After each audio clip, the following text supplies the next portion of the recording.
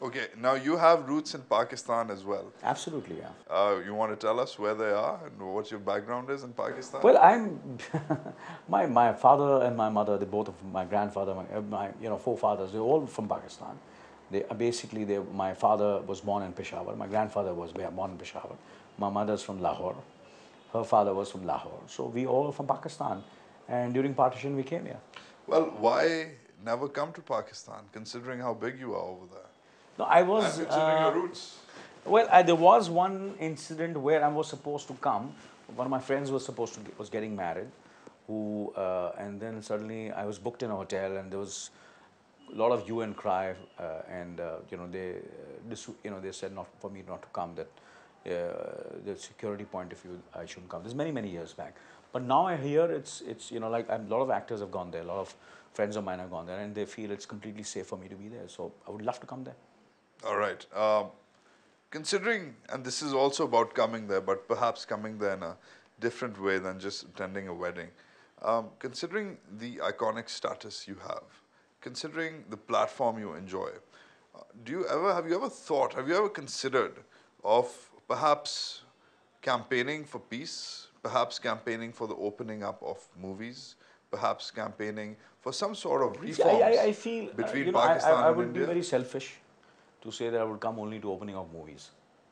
I think it's such a very small. It's a very No, no. You see, uh, what I meant was the opening up of Indian movies in Pakistan. No, I would come for- releasing of Indian I movies would in come Pakistan. there to open up many many things. A lot of avenues. There's there's there's there's culture. There's values. There are friends. There is movies. There's business. There's politics.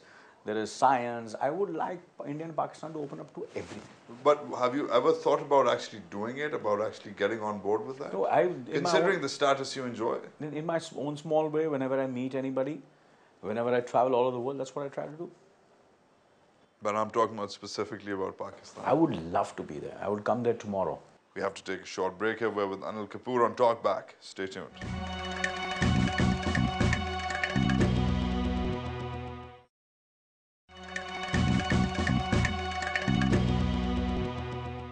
Welcome back to Talk Back. We are with Anil Kapoor. Why do you think Indian actors are so depoliticized? Why most Indian actors, as far as Bollywood is concerned, this is a very unfortunate matter of fact. It's very, very unfortunate because I admire people who are in Hollywood who take a stand. In India, definitely actors really don't take a stand. You don't. I, I, I, I accept it. I accept it very, very. I feel it's not. They don't take a stand. They ask. They're they're always on a fence, and uh, they they they not really take a stand. They're not. They don't. They don't want to belong to any individual. They don't support an individual very who's in a particular particular political party.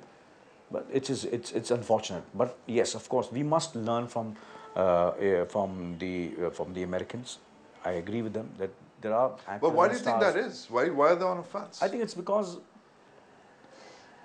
I mean, there's so much. I- There are so many stands to take in India. yeah yeah. But I, I, I'm telling you, I'm being very honest about it, and uh, uh, um, you know, I, and I I think how do I say it? You know, I, there must be I must there must I must go deep into it and see why we don't do it.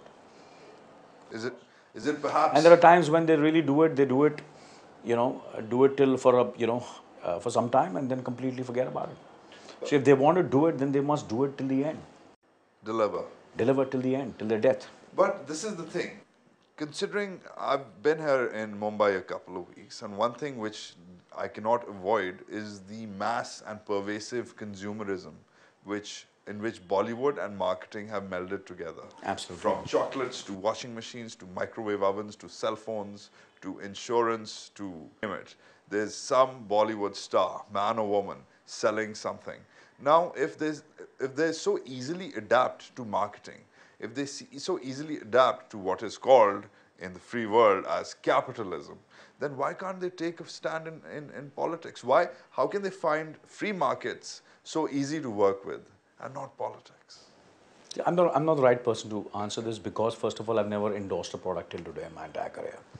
So you can say in that way I'm, I'm not a capitalist because my children also say that you, I've been a fool and my bank balance would have been really, uh, you know, much, much bigger than what it is.